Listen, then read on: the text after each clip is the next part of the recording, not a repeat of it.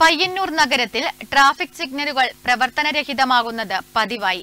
വളരെ തിരക്കേറിയ നഗരത്തിൽ ഓട്ടോമാറ്റിക് സിഗ്നൽ സംവിധാനമോ ട്രാഫിക് പോലീസ് ഉദ്യോഗസ്ഥരോ ഇല്ല എന്നതാണ് നിലവിലെ സ്ഥിതി.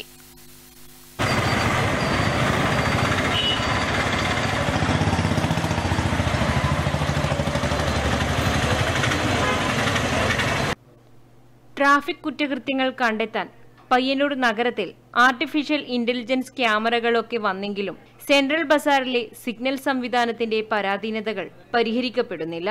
പയ്യന്നൂർ നഗരത്തിലെ പ്രധാന ജംഗ്ഷനായ സെൻട്രൽ ബസാറിൽ ദിവസങ്ങളായി ട്രാഫിക് സിഗ്നൽ സംവിധാനം പ്രവർത്തിക്കാതായിട്ടും അധികൃതർ കണ്ടമട്ടില്ല.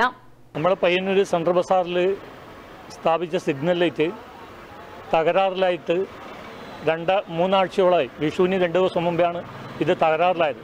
ഈ സിഗ്നൽ ലൈറ്റ് സ്ഥാപിക്കുമ്പോൾ തന്നെ ഈ പയ്യന്നൂർ പയ്യന്നൂരിന്റെ റോഡിന്റെ പരിമിതി കൊണ്ട് ഈ സിഗ്നൽ ലൈറ്റ് അശാസ്ത്യമാണ് എന്ന് നമ്മുടെ തൊഴിലാളികൾക്ക് അഭിപ്രായം ഉണ്ടായിരുന്നു. എങ്കിലും സിഗ്നൽ ലൈറ്റ് സ്ഥാപിച്ചു.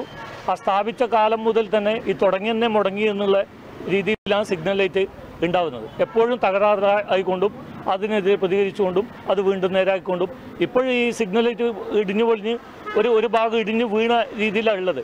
അപ്പോൾ അത് അതിന്റെ വേണ്ടപ്പെട്ടവർ ശരിയാക്കുകയും സിഗ്നൽ ലൈറ്റ് ഒന്നുകിൽ സിഗ്നൽ ലൈറ്റ് നല്ല രീതിയിൽ പ്രവർത്തിപ്പിക്കാൻ അതിന്റെ ന്യൂനതകളെല്ലാം പരിഹരിച്ചുകൊണ്ട് പ്രവർത്തിപ്പിക്കാൻ തയ്യാറാവുക.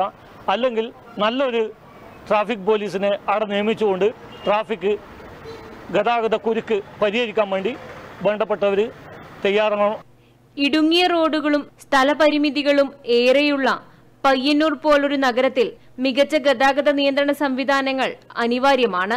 അനുദിനം വാഹനങ്ങൾ പെരുകുമ്പോൾ അതിനൊപ്പം പരിഷ്കരിക്കപ്പെടേണ്ടത് തന്നെയാണ് ട്രാഫിക് നിയന്ത്രണങ്ങളും. News bureau Payyanur.